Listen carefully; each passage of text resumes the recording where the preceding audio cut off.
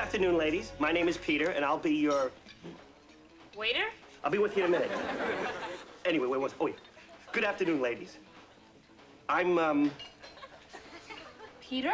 I said I'll be with you in a minute. Anyway, what can I get for you?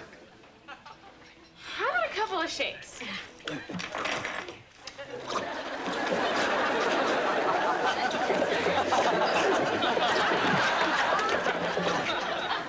Anything else?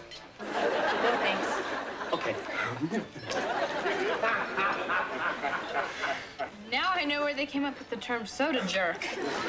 Anyway, here it is. Chris's first letter from college. Ready? Wait. I'm scared. What if college has changed Chris? I mean, what if he's turned into a sophisticated, mature intellectual? Howdy, knuckleheads. Well, he's just freshman. That? Oh, he's new in town. Do you know anything about him? Well, not much. Here we go. Cummings, Jeffrey Douglas, AKA Jeff. Last known residence, Boston, Mass. Straight A student, captain of hockey team. Has birthmark shape of New Zealand on left leg. I pride myself on thoroughness. Do you think we should ask him to join us? Yeah, Evie, make your move. Lindsay, only you could take a simple, neighborly gesture and turn it into a sleazy, make your move. Gina Curtis is headed over there. I better make my move. Hi. Uh, Cummings, Jeffrey Douglas? How'd you know my name? I guessed. You look like a Cummings, Jeffrey Douglas. Hey, that's pretty good. Um, I'm Evie Garland. Would you like to join me and my friend? I'd love to. Uh, Lindsay, this is Jeff Cummings. Jeff, I'd like you to meet Lindsay Selkirk. Hi. Hey, aren't you the one that chased me around gym class trying to take a picture of my birthmark? Yes. It's for a student film I'm doing called Birthmarks of a Nation. I just have to get a shot of Gorbachev's head and I'm done. So, Jeff, I hear you're from Boston. How do you like California? I hate it. California's loaded with weirdos, wackos, and flake balls. That's not true. Good afternoon, sir. Would you like a shake? No! Thanks. So, you're from Boston. That's right, the home of Paul Revere's Ride, the Boston Tea Party, um, the Battle of Bunker Hill. What history-making events have ever happened in California? The S Festival? You know, you need a tour guide to really show you California, Jeff. Someone who lives here. Someone knowledgeable. Someone witty, charming, and attractive. Oh, I'm sorry, Evie. I've got to help my mom with dinner tonight. Why don't you take Jeff? Thanks, Lindsay. So how about it, Jeff? Are we on? Sure, as long as I'm home in time for the evening news. The news? Of course. You're not going anywhere in this world if you don't know what's going on in this world. Right. We knew that. We always watch the evening news, don't we, Lindsay? Every morning. Who's your favorite anchor person? Downtown Julie Brown. California. Listen, I'll come back and pick you up. I just have to gas up my car. I, I hate to let it get below 7 eighths. Boy, talk about uptight. Talk about stiff. Talk about gorgeous. Yeah, and you're going out with him. I'm shocked, Evie. Why? Well, you're cheating on Chris. There's hope for you yet. I'm not cheating on Chris. We decided that we were too young to be so serious. That it was time we started to see other people. You mean to tell me that if Chris walked through that door right now, it'd still be okay for you to go out with Jeff? Absolutely. No problem. Hey, hey, hey, everybody, look who's back. Uh-oh, problem.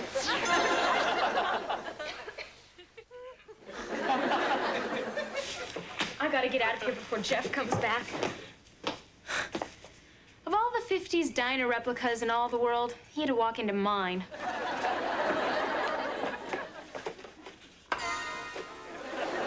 Lindsay, Evie.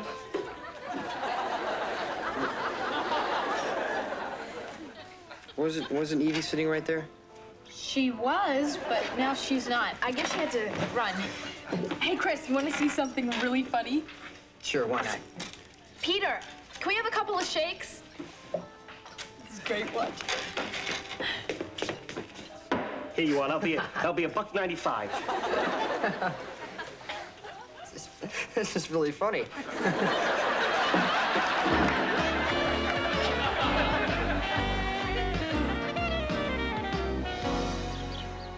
Beano, I really don't have time for one of your inventions right now. I've got business at City Hall. No, no, no, no. You're gonna love this, Donna.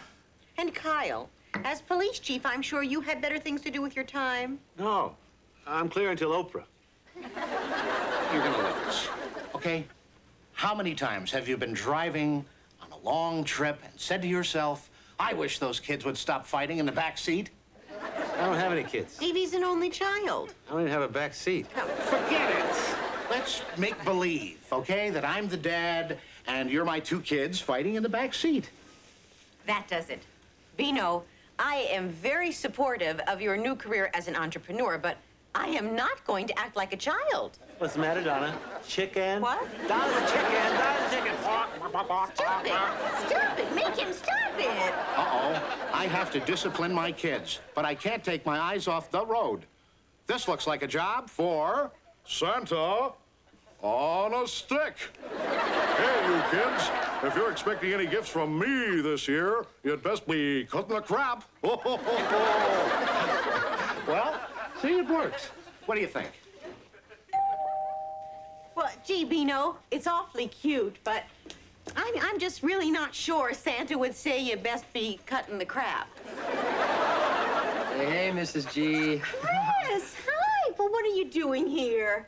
Isn't this where Evie lives? Hey, Chief. Yeah. What are you doing back from college? You flunk out? Oh, Kyle, he's only been in school for three weeks.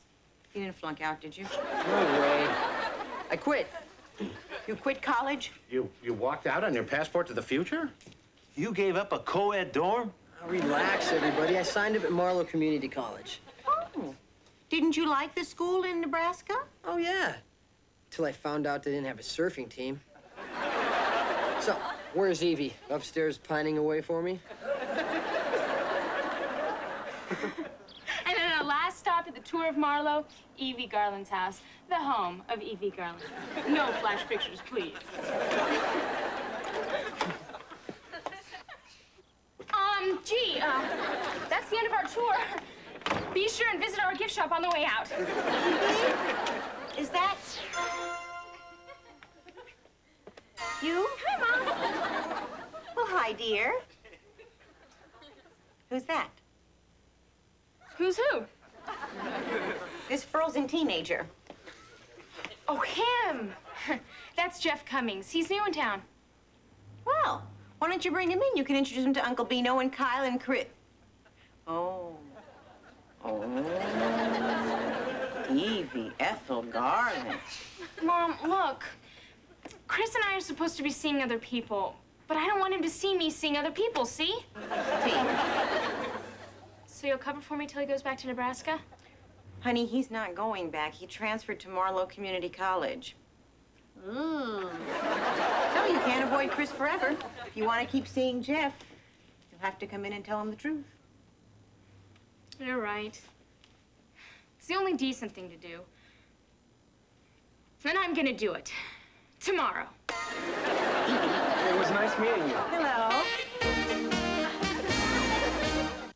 I didn't do anything wrong. So tell him. After all, we did agree to see other people. So tell him. I mean, we're not going steady anymore. So tell him.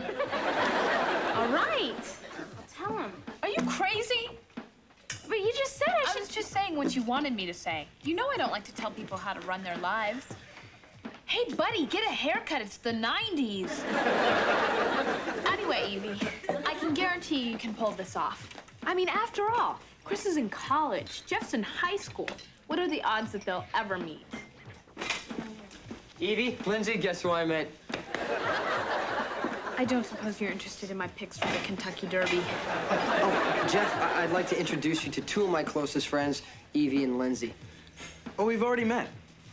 You have? Chris! I heard you were back in town. I've been looking all over for you. Well, here I am. So, can we join you? Well, uh. Sure you can.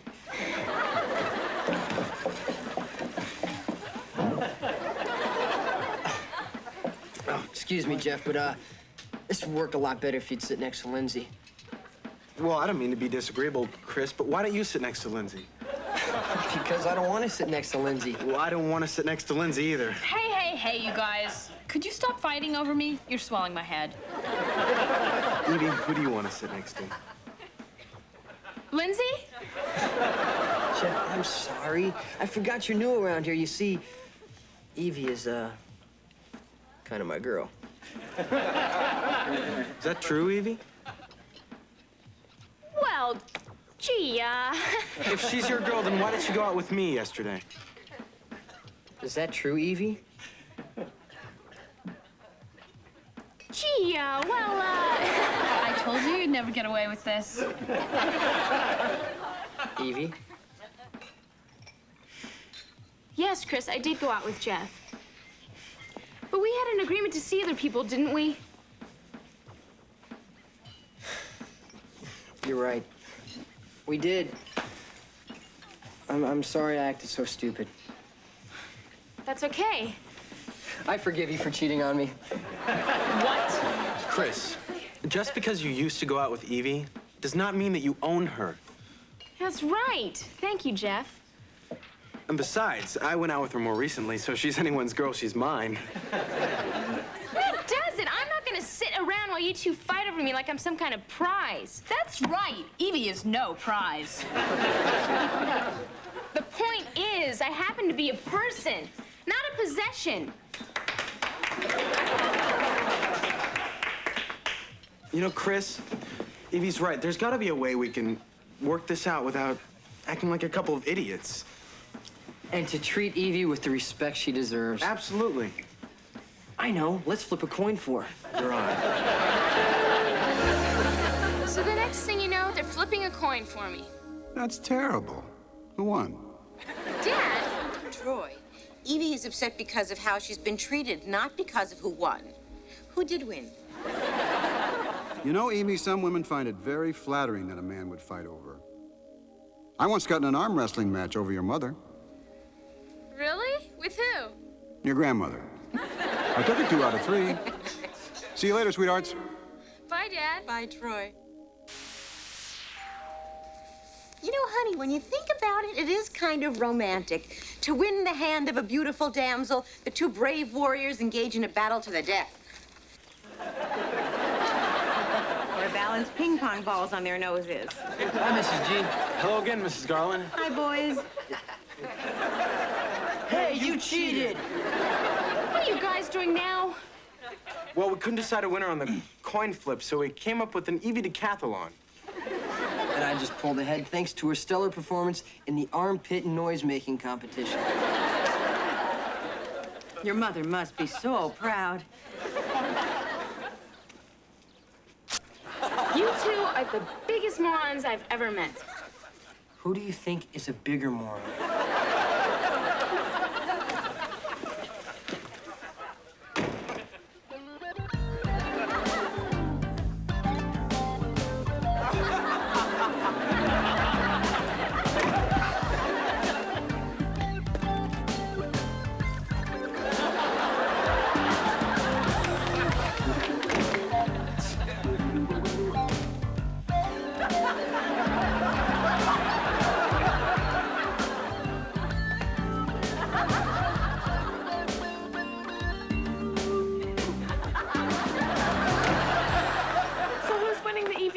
Evie Decathlon?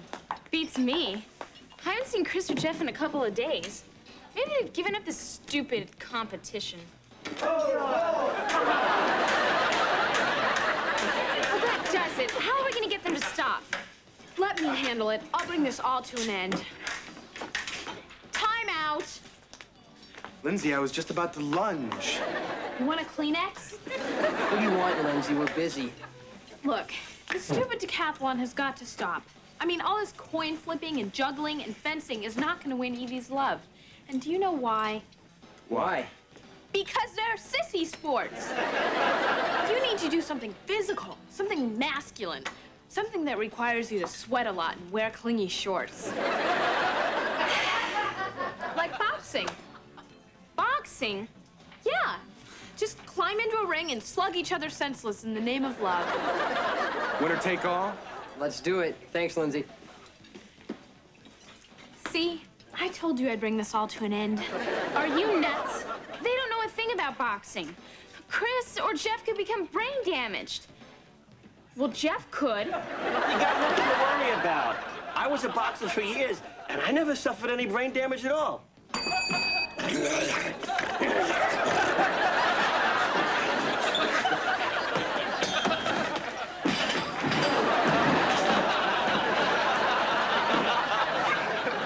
That's it. We gotta start that fight. Oh, can we at least wait till they get their shorts on?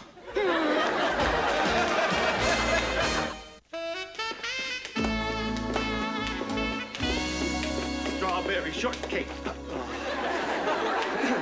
Strawberry shortcake. Huckleberry pie. Great, Kyle's here. I'll go talk to him. You go look for Chris and Jeff, and don't stop for anything until you find them. Evie, you can count on me. I'll leave no towel unturned. Buttercups, uh, buttercups. Kyle! daffodils. Oh, Kyle! buttercup, what? this better be important, Evie. I was just getting up to threesies. Kyle! Chris and Jeff are gonna fight each other. You gotta do something. You got it. All right, hold it, hold it, you guys. Just a second. Hold it, hold it. Hey, hey, hey. Hey, you can't have this fight. Not without a referee. Okay. You both know the rules? No. Don't? Oh, well, let's see. Uh, uh, when I ring the bell, you both start hitting each other. A lot. Okay? Think we got it.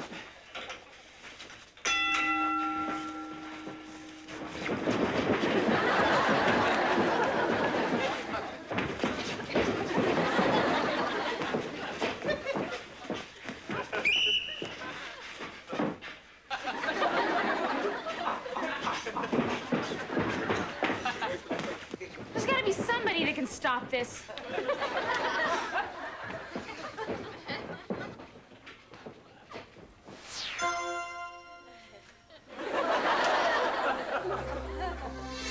Geez, these gold chains weigh a ton.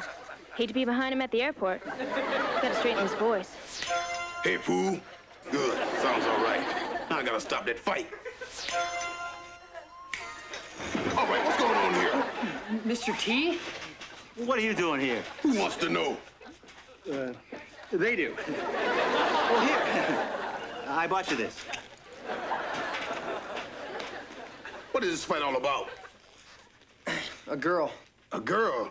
You guys are willing to throw away a potentially good friendship over some girl? She must be real pretty. Uh, she's, She's okay. Not bad. About a seven? Yeah. A seven? M- Make that a nine. 9.5. Have you guys thought that maybe this girl might not want to get seriously involved with anyone right now? Even though I'm extremely fond of you, and I think you're both pretty cute. You do? I mean, she does, she does. But knowing this girl might not want either one of you fools, you still want to get in the ring and try to kill each other anyway? Yes. Yeah. All right, let's do it. But I pity the fool that wins, because you're gonna have to fight me. Oh, Jeff wins. Ain't gonna be no rematch. Fools.